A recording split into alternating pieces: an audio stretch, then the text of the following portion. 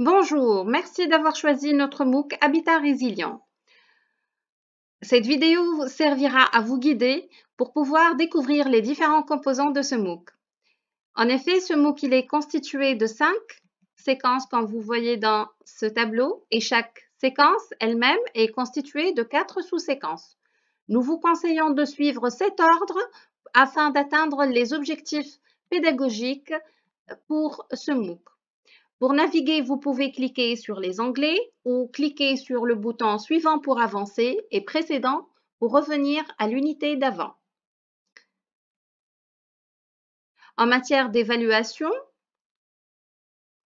chaque euh, séquence contient euh, 8 quiz avec 2 quiz par sous-séquence. Pour réussir, vous avez besoin d'avoir 70% des points disponibles auquel cas vous aurez accès, vous aurez droit donc à un certificat de réussite. À la fin de chaque séquence, vous pouvez participer au forum de discussion. Vous pouvez alors entamer des conversations avec les autres étudiants, déposer vos questions ou participer aux échanges de la communauté sur la thématique de l'habitat résilient. Si vous avez d'autres questionnements ou euh, de besoin d'aide, nous avons laissé ici la liste des instructeurs avec leur email. Découvrons ensemble euh, une première séquence. Alors, chaque séquence, elle est euh, introduite.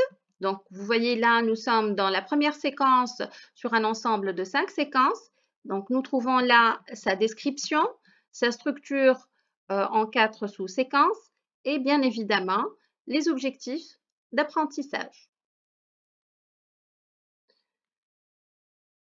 Nous cliquons sur suivant pour commencer la séquence. Nous la commençons avec, donc nous sommes sur la première séquence et nous sommes là, euh, la, la première sous-séquence.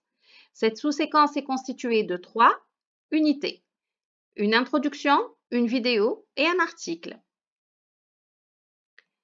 Donc, l'introduction, elle permet de décrire le contenu de la sous-séquence, les objectifs tracés, donc les objectifs d'apprentissage, le contenu euh, pédagogique à regarder ou à lire et euh, les quiz proposés.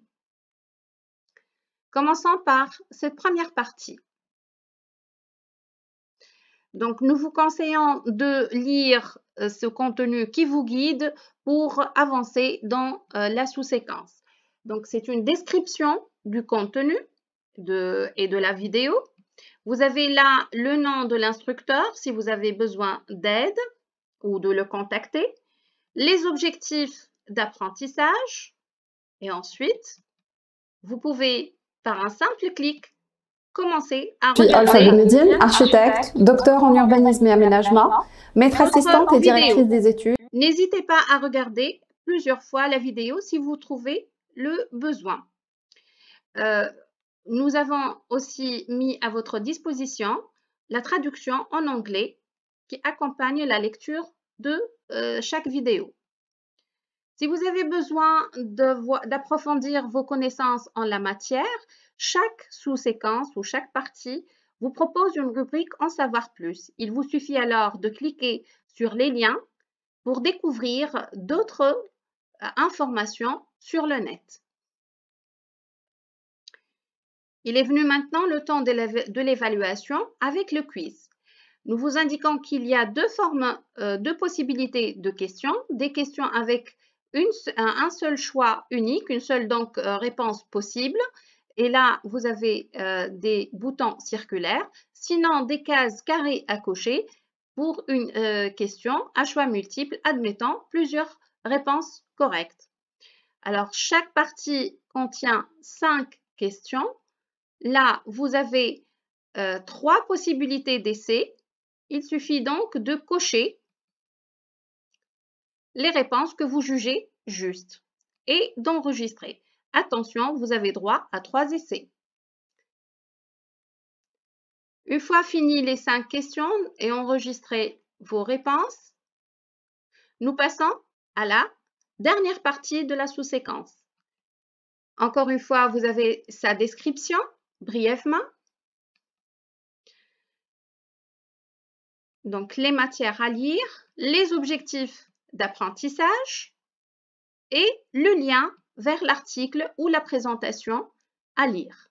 Prenez votre temps, lisez à plusieurs reprises, n'hésitez pas. Encore une fois, vous avez la rubrique En savoir plus si vous avez besoin d'approfondir vos connaissances en la matière. Vous avez ensuite un autre quiz avec encore une fois 5 questions pour faire un total de 10 quiz par sous-séquence.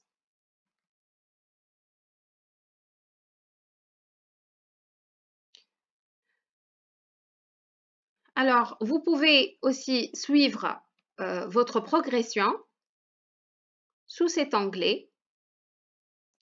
Donc là, vous voyez que je suis à 22% d'achèvement du cours.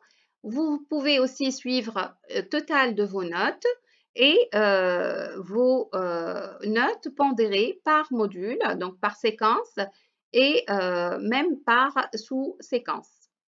Nous vous souhaitons un bon apprentissage et euh, n'hésitez pas à euh, découvrir notre MOOC.